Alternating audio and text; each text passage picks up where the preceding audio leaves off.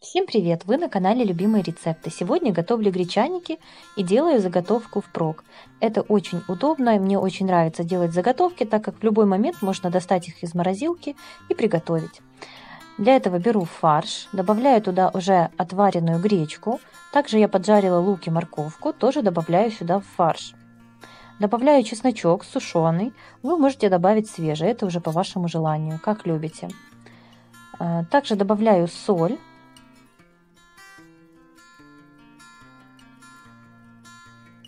и черный молотый перчик.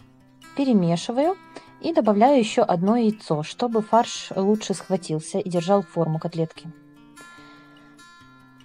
Перемешиваю и немножко отбиваю, чтобы он стал более воздушным фарш и котлетки были более сочными.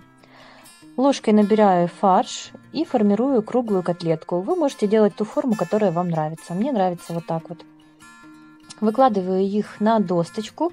У меня вот такая гибкая, с нее очень легко потом снимаются э, замороженные котлетки. Можно взять обычную доску, просто застелить ее пищевой пленкой или пакетиком. Выкладываю готовые котлетки на эту досточку и отправляю в морозилку. И затем уже готовлю по желанию, как, как мне хочется. Не размораживая, достаю котлетки, обжариваю на сковородке и затем добавляю любой соус. Можно томатный, можно протушить в сметане или в сливках.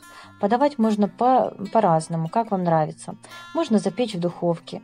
Вот такие различные варианты можно приготовить из этих гречаников. Всего вам хорошего и до новых встреч!